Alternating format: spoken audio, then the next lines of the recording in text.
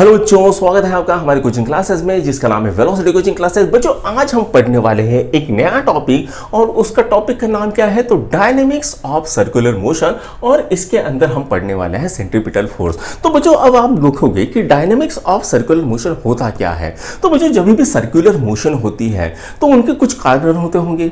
कुछ ना कुछ रीजन से वो सर्कुलर मोशन होती है। तो वो क्या रीजन होते हैं? जिनके कारण ये सर्कुलर मोशन होती है? इनकी हम स्टडी कहाँ पर करने वाले हैं? तो इनकी हम study dynamics of circular motion में करने वाले हैं। तो पहला कारण क्या है? तो पहला कारण है सेंट्रीपिटल फोर्स बच्चों, आपने सर्कुलर मोशन देखी थी? सर्कुलर मोशन क्यों होती है? तो वो रेडियल एसेलरेशन या सेंट्रीपिटल एसेलरेशन के कारण होती है। और ये रेडियल एसेलरेशन या सेंट्रीपिटल एसेलरेशन कौन प्रोवाइड करता है? तो ये हमारा सेंट्रीपिटल फोर्स है, ये ही इसका रेडियल एसेलरेशन या सेंट्रीपिटल एसेलरेशन प्रोवाइड करता है, जिसके कारण ही हमारा सर्कुलर मोशन होता है। तो अब इसकी डेफिनेशन देख लेते हैं। The force which provides necessary centripetal acceleration for circular motion is called centripetal force तो ये इसकी डेफिनेशन आ सकती है आपको। अगर आप बच्चों देखोगे, गौर करोगे कि आपने टाइप ऑफ़ फोर्सेस पढ़े थे, जिसके अंदर ग्रेविटेशनल फोर्स था न्यूक्लियर फोर्स था इलेक्ट्रोमैग्नेटिक फोर्स था, ऐसे बहुत सारे फोर्सेस आपने देखे थे। क्या वहाँ पर कहीं पर भी ये सेंट्रीपिटल फोर्स नाम का वर्ड आया था? तो सेंट्रीपिटल फोर्स ऐसा कोई टाइप नहीं है, लेकिन अलग अलग फोर्सेस को हम सेंट्रीपिटल फोर्स बोलते हैं। जैसे मान लीजिए आपने एक पत्थर लिया, उस पत्थर को आपने रस्सी बांधी और आपने घूमना चालू किया, क्या होगा? वो सर्कुलर मोशन करेगा। वो सर्कुलर मोशन क्यों करेगा? वो हम देखते हैं। तो इसके लिए मान लीजिए मैंने क्या किया? यहाँ पर एक पत्थर ले लिया। इस पत्थर को मैंने एक रस्सी बांधी राइट right? यहाँ पर क्या किया? मैंने इसको एक रस्सी बाँध। दी अब जब मैं यहाँ इसको घुमाऊँगा तो क्या होगा? इनर्शिया के कारण ये पत्थर स्ट्रेट लाइन में मूव करने की कोशिश करेगा। इसके पास कौन सी वेलोसिटी रहेगी? तो इसके पास टेंजेंशियल वेलोसिटी रहेगी। लेकिन ये रस्सी कैसी है? ये रस्सी है फिक्स, जिसके कारण यहाँ पर टेंशन पैदा होगा। अब ये टेंशन ही क्या करेगा? यहाँ पर सेंट्रीपिटल फोर्स का काम करेगा। और उसी के कारण क्या होगा? हमें एक सर्कुलर मोशन मिलेगी। अब यहाँ पर ये सही तरह सर्कल नहीं बना है। हाँ तो ये जो टेंशन है, ये टेंशन ही यहाँ पर क्या करेगा? तो टेंशन ही यहाँ पर सेंट्रीपिटल फोर्स का काम करेगा। सेंट्रीपिटल फोर्स का काम करेगा। अब दूसरा एग्जांपल देते हैं। आप लोगों को ग्रेविटेशनल फोर्स पता है। क्या पता है आपको? ग्रेविटेशनल फोर्स तो मान लो हमारी अर्थ है और ये अर्थ सन का चक्कर काट रही है। अब, ये अर्थ हमेशा सीधी जानी चाहती है, लेकिन सन के पास एक चीज़ है, वो क्या है ग्रेविटेशनल फोर्स वो ग्रेविटेशन फोर्स से इसको अपनी तरफ़ खींच के रखती है। तो ये ग्रेविटेशन फोर्स यहाँ पर क्या कर रहा है? तो ग्रेविटेशन फोर्स ही यहाँ पर सेंट्रीपिटल फोर्स का काम कर रहा है। क्या कर रहा है? सेंट्रीपिटल फोर्स का काम कर रहा है। और एग्जांपल लेते हैं, अपने एटम मॉलिक्यूल्स तो पढ़े हैं तो ये एटम ले लेते हैं। अब, यहाँ पर है न्यूक्लियस। ये क्या है न्यूक्लियस? और यहाँ पर इलेक्ट्रॉन, यहाँ पर सर्कुलर मोशन करता है। ये क्या होता है? ये सीधे जाना चाहता है। लेकिन यहाँ पर ये जो न्यूक्लियस है, ये इसको अपनी तरफ़ खींच के रखता है, छोड़ता ही नहीं। जिसके कारण यहाँ पर क्या होती है?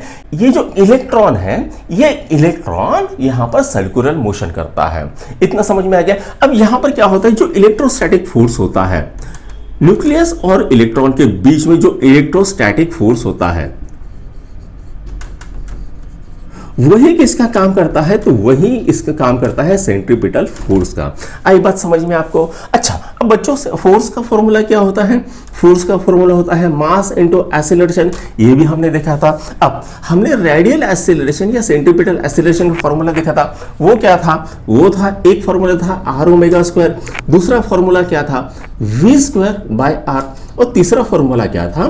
तो वो था वी ओमेगा अगर मैं एफ़ इज़ एम में ये एसिलेशन की वैल्यू पुट करूँ तो मुझे क्या मिलेगा? मुझे तीन फॉर्मूले मिलेंगे। वो क्या? पहला फॉर्मूला मिला F is to m into r omega square पहला फॉर्मूला मिलेगा, दूसरा फॉर्मूला क्या मिलेगा? M into v square by r ये दूसरा फॉर्मूला मिलेगा और तीसरा फॉर्मूला क्या मिलेगा? एम वी ओमेगा ये तीन सेंट्रीपिटल फोर्सेस के मुझे फॉर्मूले मिल जाते हैं। अगर इसके यूनिट की बात करें तो इसका यूनिट क्या आएगा? तो इसका यूनिट आएगा न्यूटन। और इसके अगर डायमेंशन की बात करें तो इसका डायमेंशन क्या आएगा? L one M one T to the power minus two ये इसके डायमेंशन आ जाएँगे। ऐसा यूनिट आएगा न्यूटन और इसका डायमेंशन आएगा L one M one T to the power minus two इसको नोट डाउन करो, फिर इसके ऊपर न्यूमेरिकल्स करते हैं। तो लिख लिया बच्चों तो आइए इसके ऊपर एक न्यूमेरिकल कर लेते हैं।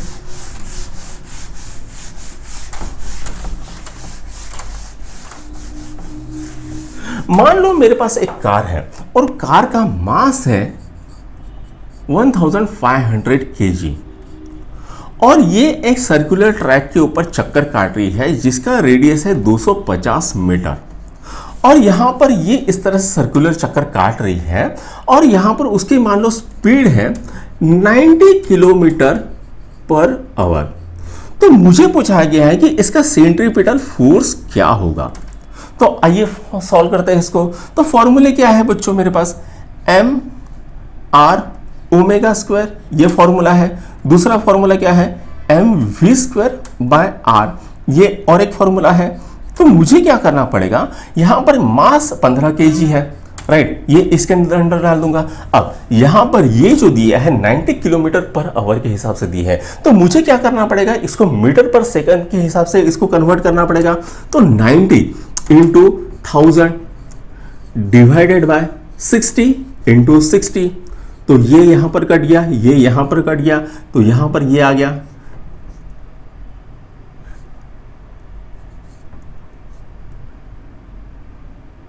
धुन दो, और यहाँ पर क्या आएगा पाँच।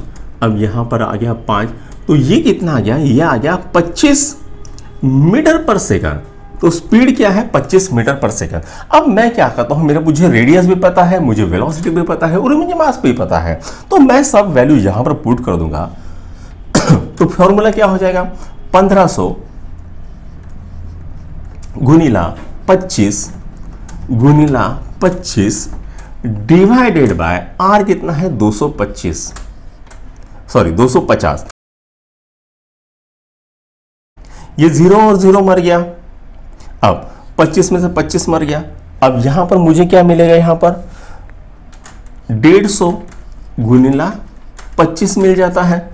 तो यहाँ पर आंसर क्या आता है? 3750 मीटर सॉरी 3750 न्यूटन इसका आंसर आ जाता है।